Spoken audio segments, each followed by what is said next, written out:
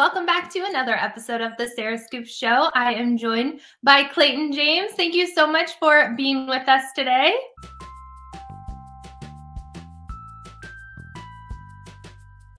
Thank you very much for having me. You have a very new and fun and exciting movie on Hallmark that is premiering on January 22nd. Can you give us the scoop on what the movie is all about?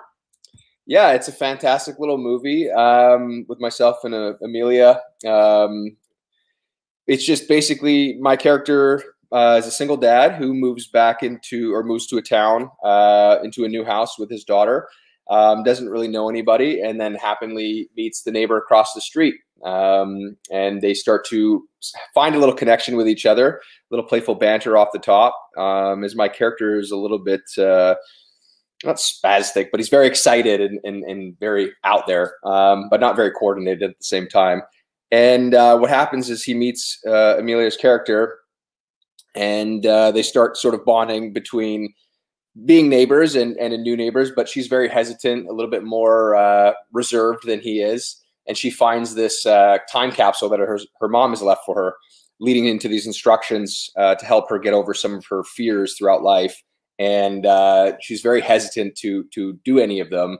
And my character kind of nudges her along and gets her to go out of her comfort zone and out of her, uh, you know, her, her regular life and to sort of take these uh, challenges on and to get over some of the fears that she has and the trials and tribulations between those two sort of happen throughout the movie uh, with the challenges and you talked a little bit about your character's personality and some of the features. What was it about the role of josh that first really interested you in wanting to play that role? Um, he's very charismatic but doesn't mean to be which is kind of fun at the same time. And he's got a lot of great energy. The fact that he's a single dad, I thought was pretty cool. I was raised by a single mom, um, so single parent life has always kind of interested me that somebody can just do it, you know, on their own, whether it's one child or, or you know more than that. I think it takes a lot of courage and it takes a lot of strength to be able to do it just by yourself. And um, yeah, he's just a fun dad and, and he's he's kind of nerdy in his own way and, and outgoing and he has some self discoveries with um, meeting Amelia's character as well. So it's just sort of like a, an adventure for the two of them to kind of get out of their comfort zones and, and out of their shells and discover some stuff about themselves and each other uh, along the way. And going off of that, in the movie, both Taylor and Josh, they're very different characters, yet they both kind of have their own insecurities that they're working to overcome. So we get to see the characters really challenge themselves to see things differently. And that's a great message in the movie. What message do you hope that viewers will take when they are watching? I think you kind of just you got to live life in the moment and i think that if there's anything out there that you're interested in or if there's anything out there that that piques your curiosity especially during the times that we're going through is just go for it you know i want people to take away from the fact that don't let your fears override your life and don't let your insecurities take over you um, you know we're a lot of pressure put on us nowadays in society to be something or to achieve something but I think that we all get lost a little bit in that. And I think that if you can take something away from the movie is just, again, live in the moment and, and enjoy it. Um, it's, it's a short journey and it goes by fast. So branch out and face your fears and have fun. yeah, no, that's a wonderful message. And the characters, we really do get to see them do that. So I think that's great. For sure. Hallmark fans, they're always excited to see some of their favorite actors working alongside of each other. And on screen, it looks like the cast really gets along great and everything. So, what was it like working with the cast of this particular movie? To be honest with you, uh, Amelia is is such a powerhouse, and she has she was a new mom at the time, and she would be between takes going to take care of her newborn, coming back just on point, funny, so much energy. I was just amazed at her presence and her professionalism on set as just an actor and then also just being a new mom and being able to carry a scene and then running away and being able to take care of her, her newborn. Um, Daphne is a fantastic, wonderful young actor. She brought it every scene. You know, it was it was a lot of fun to work with her. Lots of great energy. Um, I feel like a child myself a lot of the time. So whenever I get to hang out with you know kids on set they just always bring this fun energy and it's it's it's raw and they they don't overthink a lot of the times they kind of just act and they and they and they bring the truth to it um, you know sometimes adults are a little bit more too much thought process and it can kind of hinder you sometimes and then so when you're working with a young actor who just kind of is there and is being themselves and and really having a lot of fun it creates a, a good energy to be around so um, a lot of fun tegan uh, and I actually go way back. We've known each other for 20 plus years. So that was fantastic to work with her.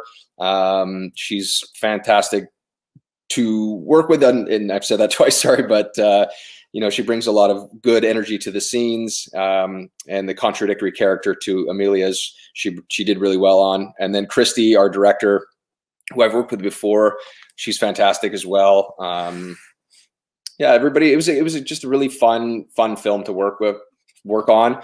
And uh, there's some good scenes in there where we get to work with goats and have some fun with goats. So that was a, that was a good experience as well. What were some of your favorite, either on screen that we saw or off screen moments when you were filming? People always love hearing like if there's something funny that happened that we don't get to see, or maybe just something when you were filming one of the scenes.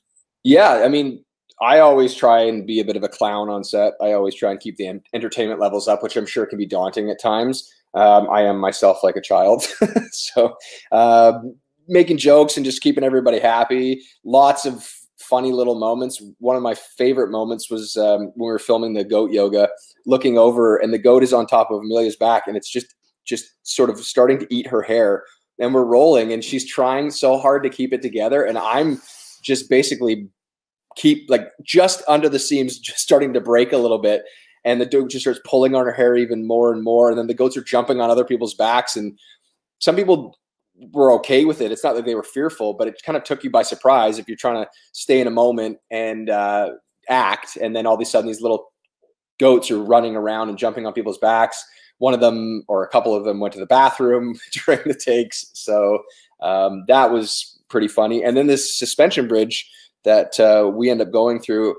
I'm pretty sure that Amelia wasn't even acting in regards to her fear of heights. So that brought a lot of fun energy as well. Um, just because that I was really having to pull her and get her across um, because it is a quite it's quite high up and suspension bridges definitely don't feel the sturdiest. They sway a little bit and then you walk on them and they they, they do bounce. Um, so there is a little bit of sense of fear and even I had a little bit of that, but being from Vancouver, I've definitely walked that bridge a few a few times, so I was a little bit more used to it.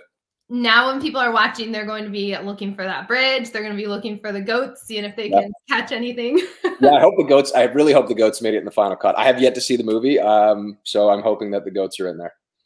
So this is just one of many Hallmark movies that you have been in and shows, and you've really built quite a fan base with the Hallmark community. What is it about Hallmark movies or shows that you enjoy most about being part of them?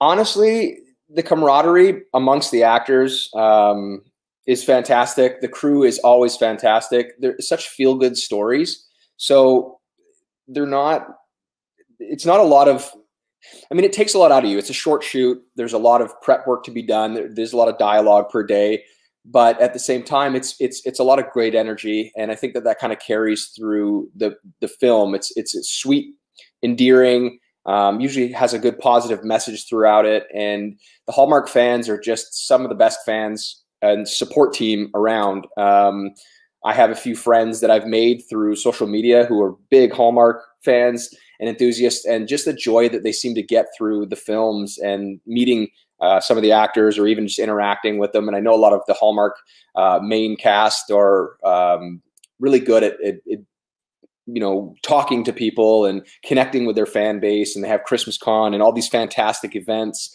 um, which is it, it's pretty cool. Um, I think that a lot of people get to relate to the the cast uh, sorry, the actors uh, in Hallmark a lot more than they would say with some of the bigger productions or some of the more mainstream stuff. And it's just it has has a really high viewership. Um, a friend of mine, Kevin McGarry, just had his movie airing, and I think they broke Hallmark records for the viewership, and that's fantastic. And I think that Hallmark has just really grown to be such a wholesome, fantastic production company that's making these wonderful, easy to watch films that you can watch with your family. You can watch with your you know your grandparents. You can watch with your partner, your spouse, your kids. Every like it's it's it's a really easy, good, wholesome uh, films to watch. Clayton, thank you so much. You have given us such good insight and scoop on the movie. So let's end things off with why do you think people should tune in on January 22nd to watch Don't Forget I Love You? I think that everybody should tune in to watch Don't Forget I Love You because it's a wholesome, wonderful film about two people that meet and they start helping each other uh, get past some of their insecurities and their fears and they connect with each other. It's also beautifully shot. Um, I love filming in Vancouver because the backdrop for the scenes in so many ways just pop. You know, the, the suspension bridge scene is a wonderful shot.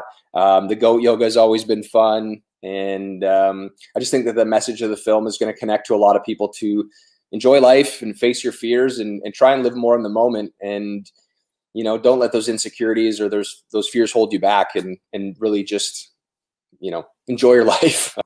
Keep a positive attitude. And I think that film, the Hallmark films right now, especially with the pandemic and all the things changing in the world, are really keeping people's spirits up and giving people positive messages to look forward to. Thank you so much, Clayton. And this was wonderful. And I can't wait for everyone to watch the new movie. Yeah, I'm stoked. Look forward to hearing what people think for sure. Thank you for watching The Sarah Scoop Show. Head to sarahscoop.com for more.